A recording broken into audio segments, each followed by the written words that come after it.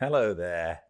Hello, Marion, Kelly. She reads a lot. Ali, and I'm sure there are many others here now. I only see the first few names before I sit down.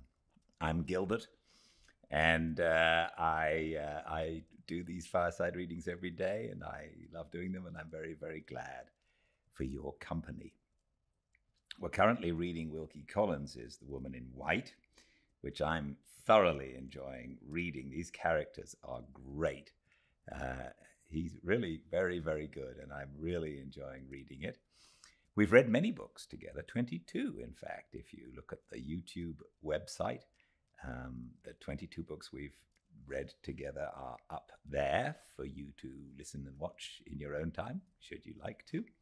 And also, we have some fireside readings for sale, some, uh, some of the classics, Wizard of Oz, and uh, Winnie the Pooh are up for sale. You can find them on Amazon and Vimeo and all of those sorts of places. Or go to the website, firesidereading.com, and uh, take a look. Um, but this is sort of the hub of fireside reading, where uh, I get joined daily, live at five, uh, by by you and people like you. If you miss a, a chapter, you can find it on YouTube or on Instagram. I was told today that Instagram, where you find it, is no longer called IGTV. I'm a bit slow with all this stuff, but somewhere on Instagram, you can find the readings that we do recorded every day. Uh, and uh, I think most of the readings we've done are up there too, so you can watch them there if that's what you like. Alternatively, for those who like the live thing, we are live from my wife and my living room, and I think it's a bit time, about time, for some more Wilkie Collins. Welcome to a fireside reading of The Woman in White by Wilkie Collins. Reading 6, Chapter 8. When I entered the room, I found Miss Halcombe and an elderly lady seated at the luncheon table. The elderly lady, when I was presented to her, proved to be Miss Fairlie's former governess, Mrs. Vesey, who had been briefly described to me by my lively companion at the breakfast table as possessed of all the cardinal virtues and counting for nothing. I can do little more than offer my humble testimony to the truthfulness of Miss Halcombe's sketch of the old lady's character. Mrs. Vesey looked the personification of human composure and female amiability. A calm enjoyment of a calm existence beamed in drowsy smiles on her plump, placid face. Some of us rush through life, and some of us saunter through life. Mrs. Vesey sat through life.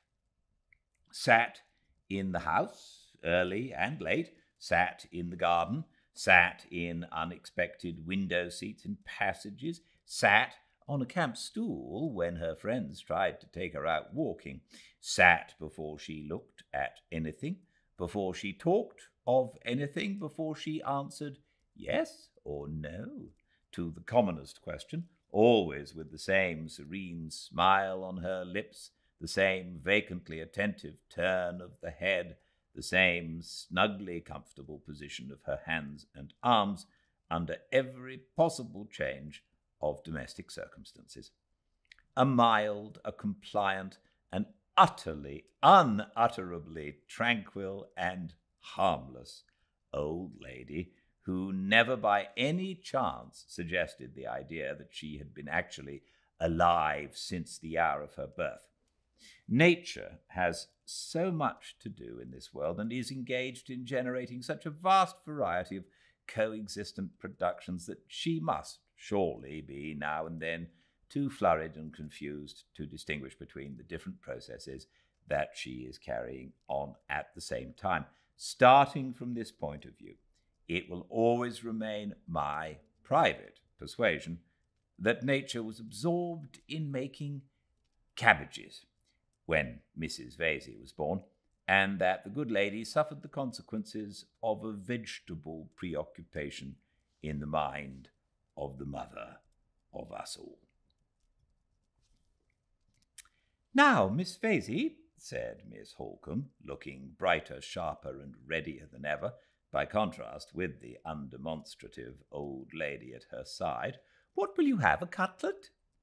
Mrs. Vesey crossed her dimpled hands on the edge of the table, smiled placidly, and said, Yes, dear. What is that opposite Mr. Hartright? Boiled chicken, is it not? I thought you liked boiled chicken better than that cutlet, Mrs. Vesey. Mrs. Vesey took her dimpled hands off the edge of the table and crossed them on her lap instead, nodded contemplatively at the boiled chicken, and said, Yes, dear. Well, but which will you have today? Shall Mr. Hartright give you some chicken, or shall I give you some cutlet? Mrs. Vesey put one of her dimpled hands back again on the edge of the table, hesitated drowsily, and said, Whichever you please, dear. Mercy on me! It's a question for your taste, my good lady, not for mine. Suppose you have a little of both, and suppose you begin with the chicken, because Mr. Hartright looks devoured by anxiety to carve it for you. Mrs. Vesey put the other dimpled hand back on the edge of the table, brightened dimly one moment, went out again the next, bowed obediently, and said, If you please, dear. Surely a mild, a compliant, and unutterably tranquil and harmless old lady. But enough, enough, perhaps, for the present, of Mrs. Vesey. All this time, there were no signs of Miss Fairlie. We finished our luncheon, and still she never appeared. Miss Halcombe, whose quick eye nothing escaped, noticed that the looks that I cast from time to time in the direction of the door noticed the looks that I cast from time to time in the direction of the door. I understand you, Mr. Cart- Mr. Hartright, she said. You were wondering what has become of your other pupil. She has been downstairs and she has got over her headache, but she has not sufficiently recovered her appetite to join us at lunch. If you will put yourself under my charge, I think I can undertake to find her somewhere in the garden. She took up a parasol lying on a chair near her and led the way out by a long window at the bottom of the room which opened onto the lawn. It is almost unnecessary to say that we left Mrs. Vesey still seated at the table with her dimpled hands crossed on the edge of it, apparently settled in that position for the rest of the afternoon.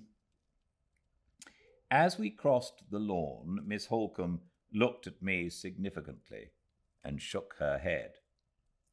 That mysterious adventure of yours, she said, still remains involved in its own appropriate midnight darkness. I have been all I have been all the morning looking over my mother's letters, and I have made no discoveries yet. However, don't despair, Mr. Hartright.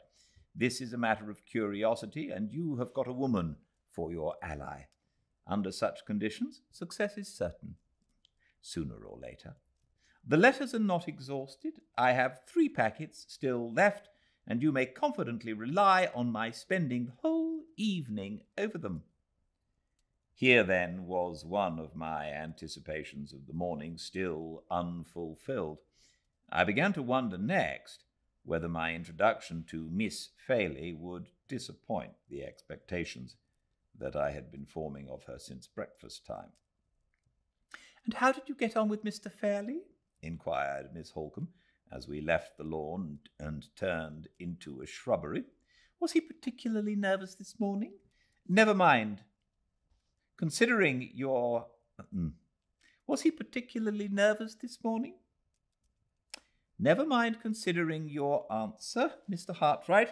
The mere fact of your being obliged to consider is enough for me. I see in your face that he was particularly nervous, and as I am amiably unwilling to throw you into the same condition, I ask no more. We turned off into a winding path while she was speaking and approached a pretty summer house, built of wood in the form of a miniature Swiss chalet. The one room of the summer house, as we ascended the steps of the door, was occupied by a young lady. She was standing near a rustic table, looking out at the inland view of moor and hill presented by a gap in the trees, and absently turning over the leaves of a little sketch book that lay at her side. This was Miss Fairlie. How can I describe her? How can I separate her from my own sensations and from all that has happened in the later time? How can I see her again as she looked when my eyes first rested on her, as she should look now to the eyes that are about to see her in these pages? The watercolour drawing that I made of Laura Fairlie at an after period, in the place and attitude in which I first saw her, lies on my desk while I write. I look at it, and there dawns upon me brightly from the dark, greenish brown background of the summer house a light, youthful figure, clothed in a simple muslin dress, the pattern of it formed by broad, alternate stripes of delicate blue and white. A scarf of the same material sits crisply and closely round her shoulders, and a little straw hat of the natural colour plainly and sparingly trimmed with ribbon to match the gown, covers her head, and throws its soft, pearly shadow over the upper part of her face. Her hair is of so faint and pale a brown, not flaxen, and yet almost as light, not golden, and yet almost as glossy, that it nearly melts here and there into the shadow of the hat. It is plainly parted and drawn back over her ears, and the line of it ripples naturally as it crosses her forehead.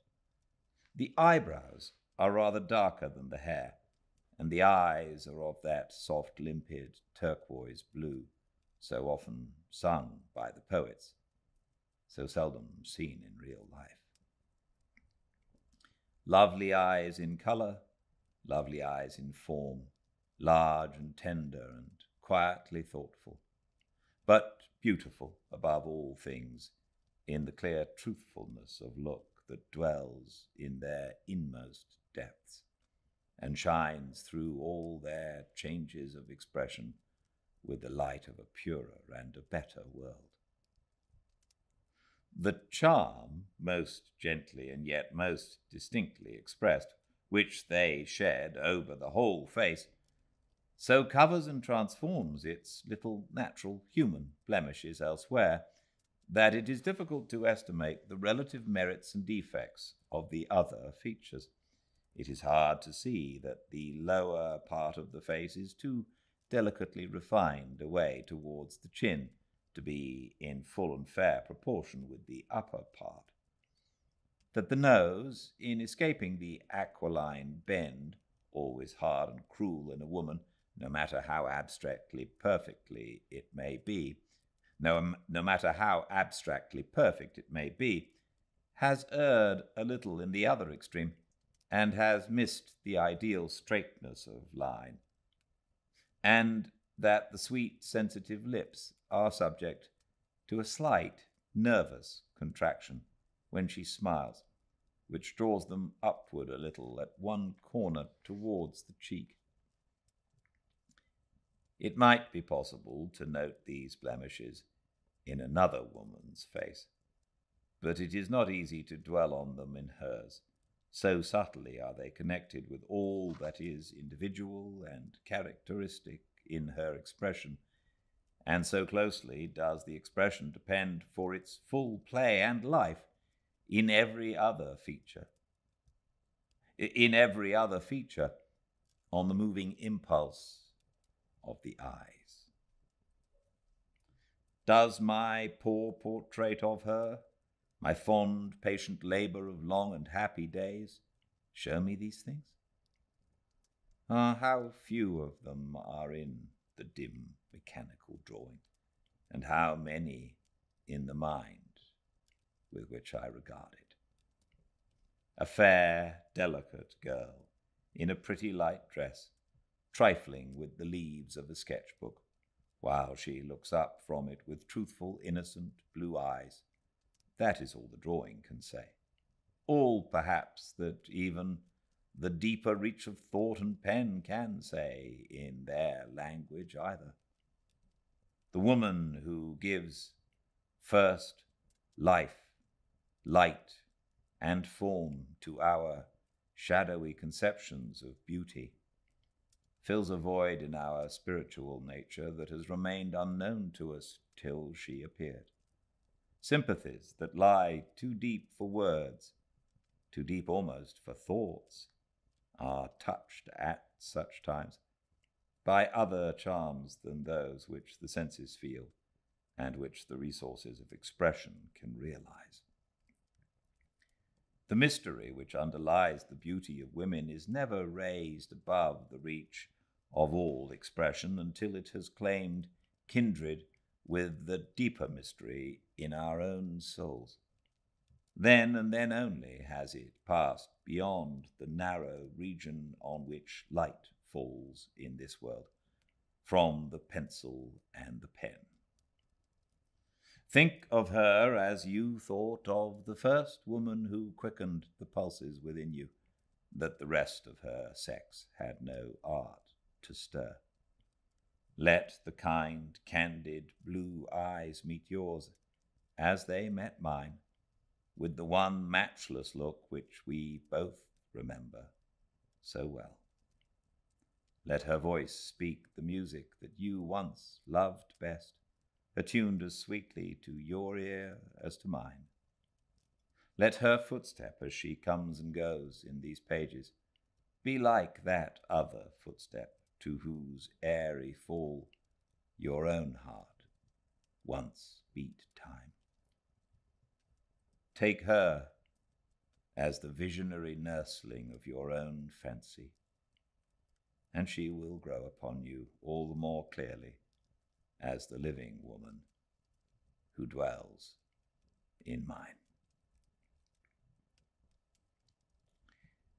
Among the sensations that crowded on me when my eyes first looked upon her, familiar sensations which we all know, which spring to life in most of our hearts, die again in so many, and renew their bright existence in so few. There was one that troubled. There was one that troubled and perplexed me, one that seemed strangely inconsistent and unaccountably out of place in Miss Fairlie's presence. Mingling with the vivid impression produced by the charm of her fair face and head, her sweet expression, and her winning simplicity of manner, was another impression which, in a shadowy way, suggested to me the idea of something wanting. At one time, it seemed like something wanting in her, at another, like something wanting in myself, which hindered me from understanding her as I ought. The impression was always strongest in the most contradictory manner when she looked at me, or, in other words, when I was most conscious of the harmony and charm of her face, and yet at the same time most troubled by the sense of an incompleteness which it was impossible to discover. Something wanting, something wanting. And where it was and what it was, I could not say. The effect of this curious caprice of fancy, as I thought it then, was not of a nature to set me at my ease during a first interview with Miss Fairlie. The few kind words of welcome which she spoke found me hardly self possessed enough to thank her in the customary phrases of reply. Observing my hesitation, and no doubt attributing it, naturally enough, to some momentary shyness on my part, Miss Halcombe took the business of talking as easily and readily as usual, into her own hands. Look there, Mr. Hartright, she said, pointing at the sketchbook on the table and to the little delicate wandering hand that was still trifling with it. Surely you will acknowledge that your model pupil is found at last. The moment she hears that you are in the house, she seizes her inestimable sketchbook, looks universal nature straight in the face, and longs to begin. Miss Fairlie laughed with a ready good humour which broke out as brightly as if it had been part of the sunshine above us over her lovely face. I must not take credit to myself where no credit is due, she said, her clear, truthful blue eyes looking alternately at Miss Halcombe and at me. Fond as I am of drawing, I am so conscious of my own ignorance that I am more afraid than anxious to begin. Now I know you are here, Mr. Hartright, I find myself looking over my sketches as I used to look over my lessons when I was a little girl, and when I was sadly afraid that I should turn out not fit to be heard. She made the confession very prettily and simply, and with quaint, childish earnestness drew the sketchbook away close to her side of the table. Miss Halcombe cut the knot of the little embarrassment forthwith in her resolute, downright way. Good, bad, or indifferent, she said, the pupil's sketches must pass through the fiery ordeal of the master's judgment, and there's an end of it. Suppose we take them with us in the carriage, Laura, and let Mr. Hartright see them for the first time under circumstances of perpetual jolting and interruption. If we can only confuse him all through the drive between nature as it is, when he looks up at the view, and nature as it is not, when he looks down again at our sketchbooks, we shall drive him into the last desperate refuge of paying us compliments, and shall slip through his professional fingers with our pet feathers of vanity all unruffled. I hope Mr. Hartright will pay me no compliments, said Miss Fairlie as we all left the summer house. May I venture to inquire why you express that hope? I asked. Because I shall believe. Because I shall believe all that you say to me, she answered simply. In those few words, she unconsciously gave me the key to her whole character, to that generous trust in others which, in her nature, grew innocently out of the sense of her own truth. I only knew it intuitively then. I know it by experience now.